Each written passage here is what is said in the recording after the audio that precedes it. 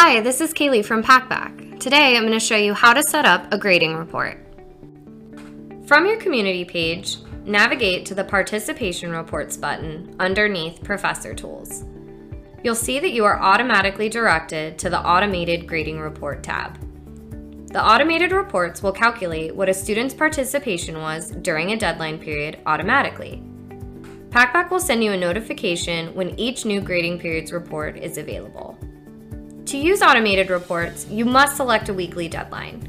We recommend just a single deadline per week, for example, Sundays at 11.59 p.m. However, for accelerated classes like summer or winter term courses, more than one deadline per week may be appropriate due to the condensed nature of the course. If you stop here and don't set posting requirements, your grading period reports will contain the student's raw participation data for that period. This includes number of questions, number of responses, total curiosity points, and average curiosity points. After you choose a deadline, you also have the option to enter your full participation requirements. If you do this, each grading period report will include a final calculated score for each grading period in your choice of either points or percentage score.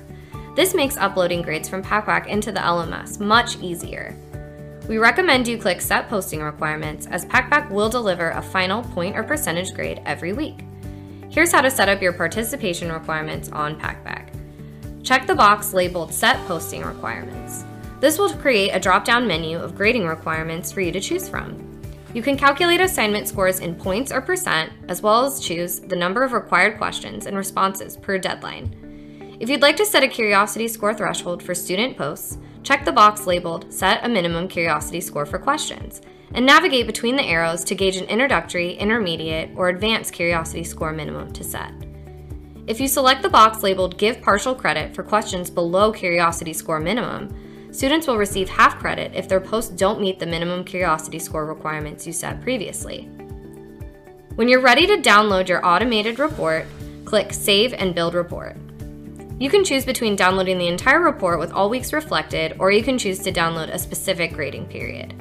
If you want to upload directly into your LMS, choose the single grading period you want to upload, rename the grading period in Packback to match your assignment in the LMS, and be sure to uncheck any student info columns that you are not using to match grades in your LMS. Click download and you'll receive an email and an in-app notification with your prepared file. If you don't want to use a weekly deadline, for example, if you want to grade on a bi-weekly basis or inconsistent deadlines, you can use the custom grade report on Packback instead.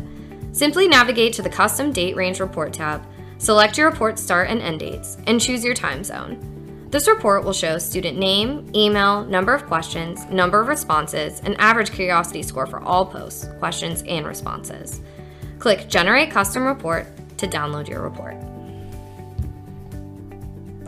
If you need assistance with your grading report, contact your experience manager or email our support team at help at packback.co.